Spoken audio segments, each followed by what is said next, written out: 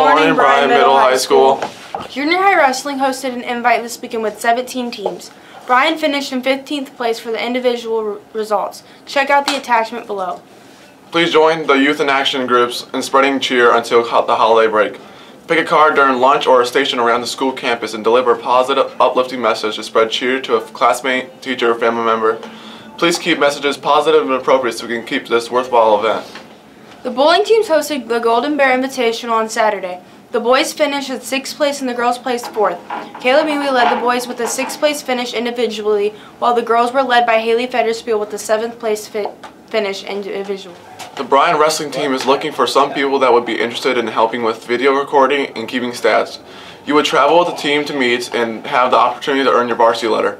If this is something that you would maybe be interested in, please see Mr. Dominic or send him an email at the email below. Boys basketball trekked to Napoleon on Saturday. The varsity lost 43 to 35 to the Wildcats. Joey Watson scored 13 points in the loss. Evan Cox had 9 points. The JV team lost 39 to 31. Jess, Gavin Jaessing scored 14 points while Landon Bassett had 8. The Bryan Swim and Dive team traveled to BGSU this weekend to compete at the NWL Classic. The girls placed 5th overall out of 26 teams, and the boys placed 18th.